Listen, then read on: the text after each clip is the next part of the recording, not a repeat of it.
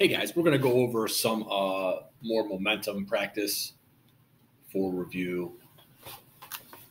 A large circular disk of mass m and radius r is initially stationary on a horizontal icy surface. A person of mass m over 2 stands on the edge of the disk. Without slipping on the disk, the person throws a large stone of mass m over 20 at initial speed v naught from a height h above the ice in its radial direction is shown in figure above. The coefficient of friction between the disk and the ice is mu. All velocities are measured relative to the ground. The time it takes to throw a stone is negligible. Express all algebraic answers in terms of m, r, v naught, h, mu, and fundamental constants. Uh, derive an expression for the length of time it will take the stone to strike the ice. All right, so we only care about the y direction. In the y direction, our initial velocity is zero. Uh, our acceleration is g. Our displacement is h. So we would have that x minus x naught equals 1 half at squared. And so t would be equal to 2 times h over g. And again, you'd want to have the equation by itself in case that's points. You'd want to have it in terms of their variables. Uh, assuming the disk is free to slide on the ice, derive an expression for the speed of the disk and person immediately after the stone is thrown. So our initial condition is that momentum is conserved. So our initial momentum is zero. Our final momentum, I'm going to make the stone have positive momentum. And so its momentum is going to be m over 20 v naught. And then our momentum, the person and the stone, is going to be negative. So I have minus. I'm saying that the person is m over 2 and the disk is m. So I have 3m over 2 times v. So I'm going to get this to the other side. So I have 3 halves mv equals m over 20 v naught. I'm going to cancel out an m. and I'm going to multiply by 2 and divide by 3 so I can get b by itself. And I have 2 over 60, which would be 1 over 30 v naught.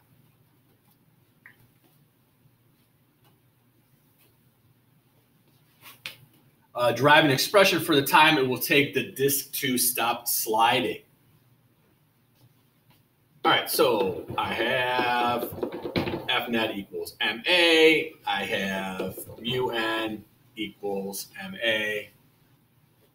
My acceleration is going to be mu g. The mass would be the three halves m, and n would be three halves mg, right? So that's going to cancel out. So if I make a chart, I should make this, this friction is positive my velocity is negative 130 v naught because it's to the left. My final velocity would be zero. My acceleration is positive because the friction is going to the right, but I'm going to the left. And then I'm solving for t.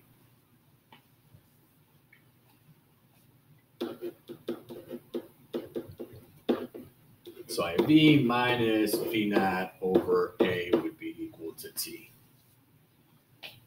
So I have 1 over 30 v naught over mu g. And then I'd have a negative of a negative, which would be a positive.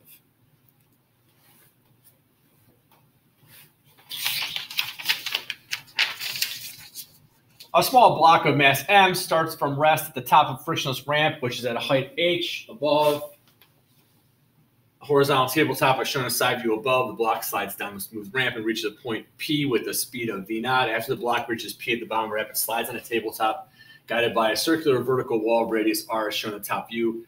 The tabletop has negligible friction. The coefficient of kinetic friction between the block and the circular wall is mu. Uh, derive an expression for the height of the ramp h in terms of v naught. All right, so we would do. I don't know how it's ended up with momentum stuff because this is definitely conservation of energy. I have potential at the top, and I'm going to have kinetic at the bottom. They tell us that it's v naught, so I'm going to cancel out an m multiplied by no, we can divide by g, right? So I want an expression for h. A short time after passing point P, the block is in contact with the wall and it moves with the speed of v. Is the vertical component of the net force on the block upward, downward, or zero? So looking downward at it, the vertical component is zero. On the figure below, starting on the block indicates the direction of the horizontal component of that force moving on the block when it's at position shown. So there's going to be a normal force on it from the wall, and then it's sliding along the rough wall. It's going to be friction going that way. So uh, the wall provides a turning force. Friction opposes, opposes the motion. Express your answer to the following in terms of V naught, V, M, R, mu, and fundamental constants as appropriate. Drive an expression for the magnitude of normal force exerted on a block with a circular wall as a function of V. So F net equals MV squared over R. So N equals MV squared over R. uh, D, derive an expression for the magnitude of tangent, tangent to tangential acceleration of the block at the instant the block has attained a speed of v. All right, so uh, this is going to be F net equals ma, even though it's turning, they're talking about the tangential acceleration. That's not centripetal acceleration, so that's going to be from the friction.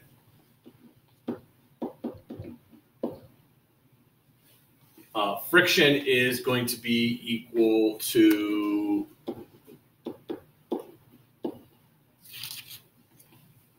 mu n. We have two n's here. So I should make this one the n from the wall and this one n from the table.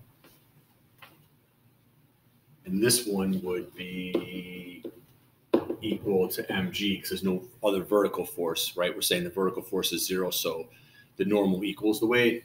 And so our acceleration is equal to mu g. So V would be equal to V naught plus mu GT. And I should make it negative. So it's going to oppose, it's going to be slowing, right? So, again, I'm using their letters. Uh, derive an expression VT is speed of block as a function of time after a point P, and that's this. A small dart of 0.02 kilograms is launched at an angle of 30 degrees above the horizontal initial speed of 10 meters per second. The moment it reaches its highest point in its path, it is moving horizontally. It collides with and sticks to a wooden block of 0.10 kilograms that's suspended at the end of a massless string. The center of mass of the block is 1.2 meters below the pivot point of strain. The block and the dart then swing up until the string makes an angle theta with the vertical as shown above. Air resistance is negligible. Uh, determine the speed of the block just before it hits the, the. So when it's at this point, it only has its horizontal component of velocity.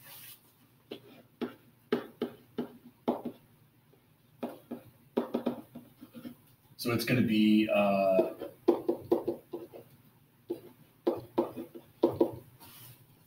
10 cosine 30, which is 8.66 or 8.7 meters per second. Uh, calculate the horizontal distance between the launching point of the dart and the point on the floor directly below the block.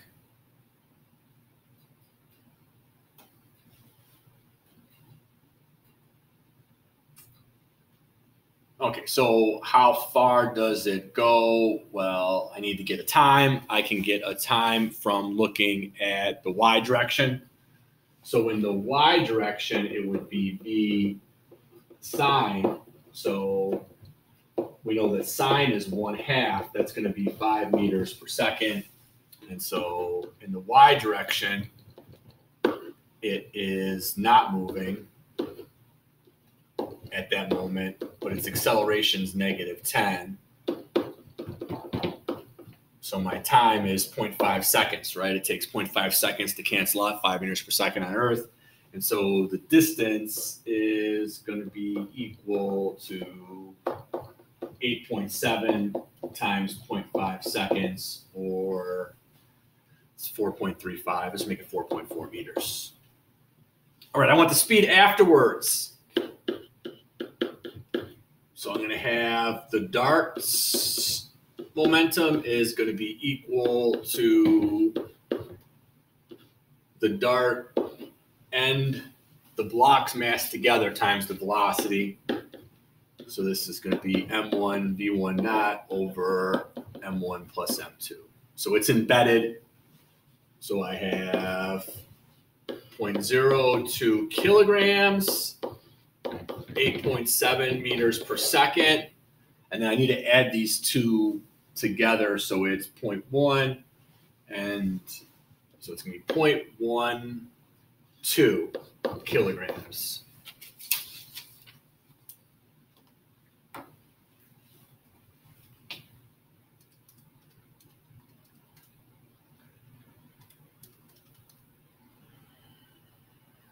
So I have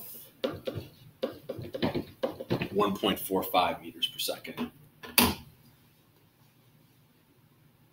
Uh, calculate the angle theta through which the dart and block on the string will rise before coming momentarily to rest. Uh, the block then continues to swing a simple pendulum. Calculate the time between when the dart collides with the block and when the block first returns to its original position. I'll do this part first.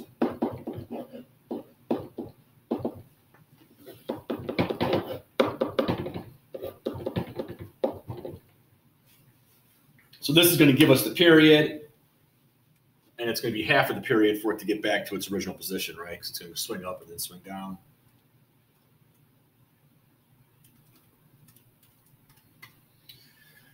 So I have a period of about 2.2 seconds, and so that would happen at 1.1 second, right? So it's going to hit here, it's going to go up, go back down, but an entire cycle would be for it to go back there and go back to where it started, right? So we're only going to have half of a period. All right, I want to do the angle. I want to find what the height is. All right, so I have uh, kinetic energy at the bottom. I said it was 1.2, right? 1.45. So I'm going to say that I have kinetic energy at the bottom and I have potential energy at the top. I'm going to cancel out the masses. I'm going to get my H, and that's going to be one half 1.45 meters per second squared over 10.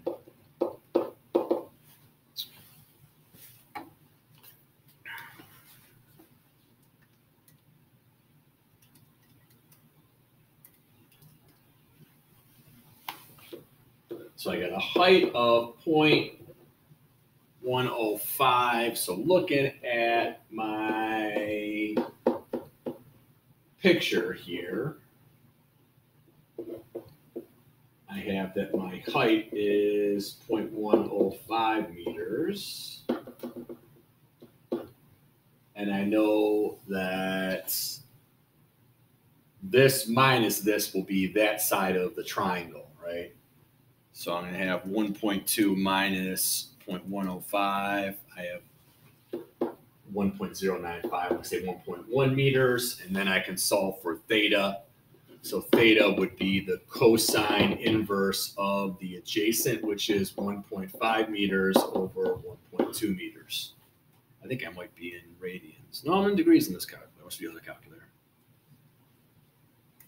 So cosine inverse of 1.1 divided by 1.2. And I got 23.5, so 24.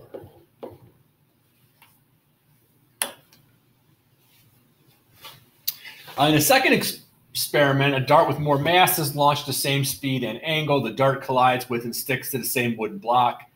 Will the angle that the dart and the block swing to increase, decrease, or stay the same? All right, so it's going to get there with the same speed because that mass cancels out in that.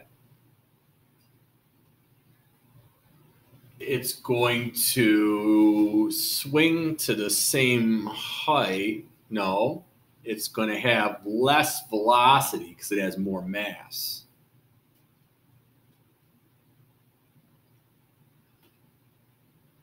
Let's, it's going to have more velocity because it has more mass, right? So we're going to this would be bigger to start with, which means our final momentum would be bigger.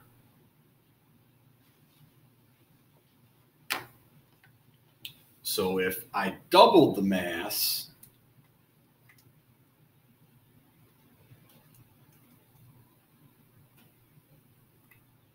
it's going to go higher because of the bigger velocity that gets squared.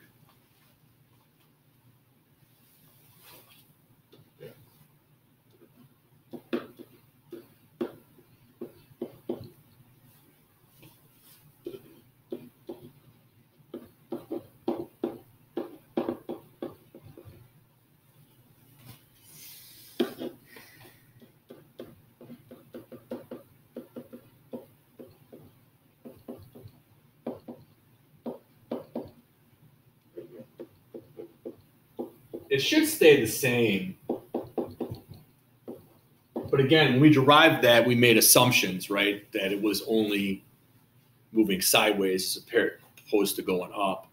But in the first one, like it didn't go up much. Like 0.11 is not a big distance for it going up. Uh, a 0.3 kilogram cart moving at two meters per second to the right collides with the 0.1 cart moving to the left. So that means this is negative. After the collision, uh, the 0.1 kilogram cart moves to the right with a speed of 1.2 meters per second. Uh, assume friction is negligible. Calculate the magnitude and direction of the velocity of the 0.3 cart after the collision. All right, so momentum is conserved.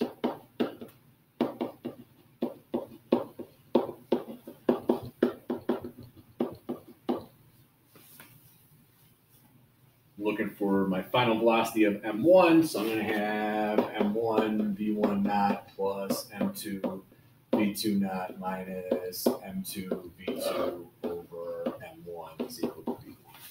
And that, it's best if you move everything around and then you substitute at the very end. That will make physics teachers, physics professors happy. So I have 0.3 kilograms and two meters per second. And I have 0.1 kilograms and negative three meters per second. And then I have 0.1 kilograms and 1.2 meters per second. And I have 0.3 kilograms.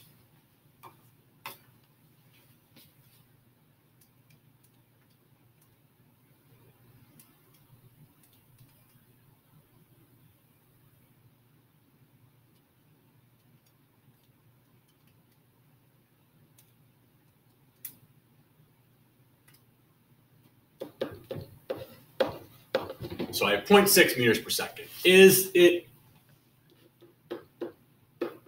elastic?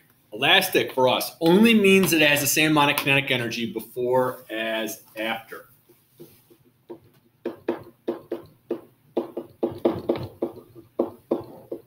So that's going to be the sum of our original kinetic energies and the sum of our final kinetic energies. And again, these are speeds, not velocities, so we don't have to worry about the sign. It's going to cancel out anyways. So I'm going to have 0.3 times 2 plus 0.1 times 3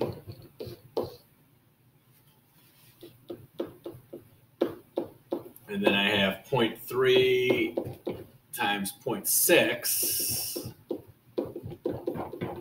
plus 0.1 times 1.2 squared. And the most common place for you to find an elastic collision is in a physics problem.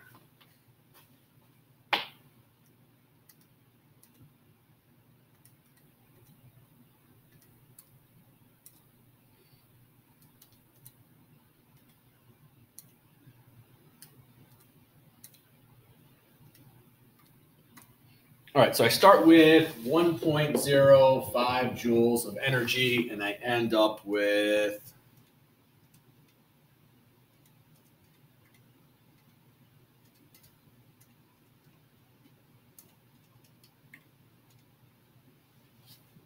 Point one two six joules.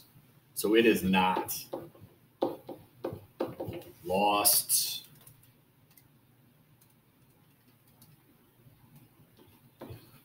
0.924 joules. So elastic means that it is conserved. Uh, the 0.3 cart is now removed. The 0.1 cart continues to move to the right and then collides with and compresses an ideal spring whose right end is attached to a fixed wall. Calculate the potential energy of the spring when it reaches the maximum compression. Uh, it would just be equal to the kinetic energy of the cart, right?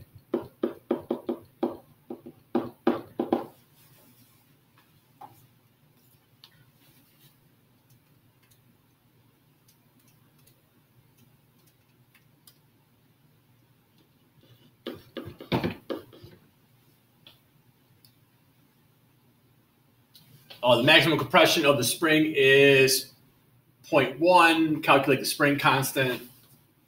So I have 0.072 joules is equal to 1 half kx squared. So I have 2 times 0.072 uh, divided by 0.1 meters squared equal to k. You could see like these free responses. They just want to see that you can do a bunch of different stuff, right? That's the main thing. They're getting you to do, you know, a lot of different skills over a lot of different topics. Uh, suppose that instead of spring is nonlinear, such the force due in spring when it's compressed, a distance x is f equals negative bx cubed. Calculate the value of b if the spring is compressed 0.1 meters. All right, so I know that the work done to compress the spring from zero to 0.1 is going to be FDX. So this is going to be from zero to 0.1 is going to be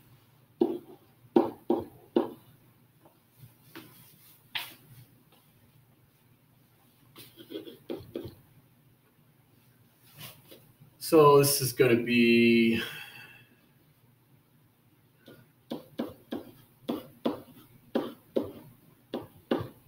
So I got to put a point four in there. Right. So I'm going to have point one times point one times point one times point one divided by four. So I have negative b 2.5 times 10 to the negative fifth, and this is going to be equal to my 0.072 joules. So I can ignore this because that's not.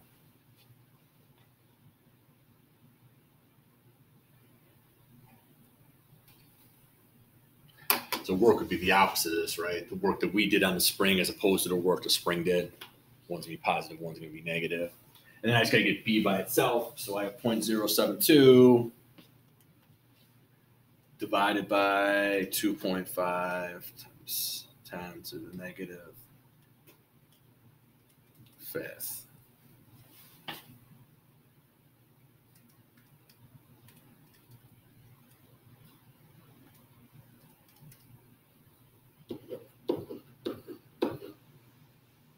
So B is 28, 2,880.